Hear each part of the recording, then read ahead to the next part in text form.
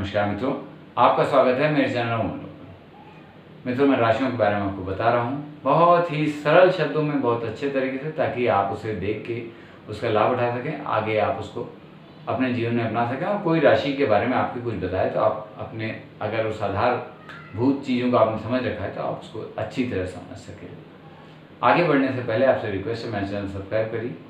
और इस घंटी पर, एक घंटी बनी हुई नीचे उस पर क्लिक करिए ताकि कोई मेरा वीडियो आए तो आप उसे सही समय पर देख सकें।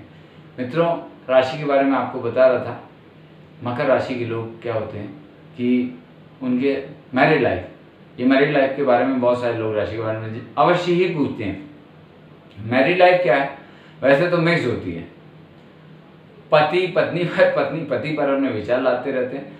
इस कारण थोड़ी गड़बड़ होती है। चंचल, अस्थिर लोग होते हैं तो ये भी इनके बाधक होते हैं इनके जीवन में और फालतू के खर्चे बहुत करते हैं। बड़प्पन, शान दिखाने के चक्कर में ये इनको पैसा नहीं रहता इनके पास। साथ में जो अपोजिट सेक्स है, उसके लिए इनके मन में बहुत ज़्यादा अट्रैक्शन होता है। कामुकता भी बहुत अधिक होती है। तो बड़प्पन का प्रदर्शन करने अहंकारी स्वभाव के कारण जवान पे लगाम होता नहीं, शत्रुओं की संख्या बहुत हो जाती है। यहाँ तक कि मित्र भी शत्रु बन जाते हैं। पति पत्नी में अक्सर पटरी नहीं बैठती, ये मैं आपको बता दूँ।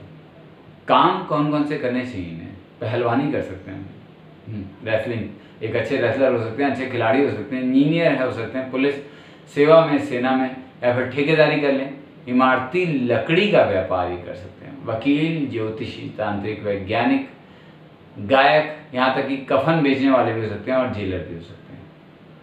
कोयला बेचने अगर आप चलें या लोहा बेचने चलें या खदान का कोई काम करें तो उसमें आप स्पेशल सफल होंगे मैं आपको बता दूँ। रंग जो आपके लिए अलॉटेड है, वो है नीला या काला और रत्न भी नीलम। नीली एक रत्न होता है वो। नीलम सावधानी के साथ लेकिन धारण करें। नीलम है तो नीलम आप धारण कर लें, ऐसा नहीं। पहले आप पक्का कर लें कैसे, किस समय, किस उंगली में आपको धारण करना चाहिए, वरना गड़बड़ भी हो सकती है।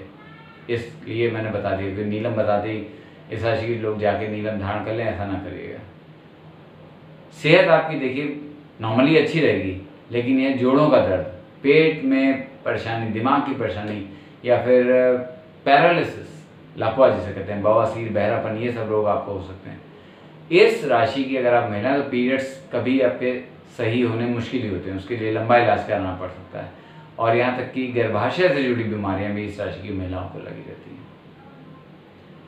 तो ये थी मकर राशि मकर राशि हमारे यहाँ पे समाप्त होती तो फिर मिलेंगे इसी चैनल और पर नमस्कार।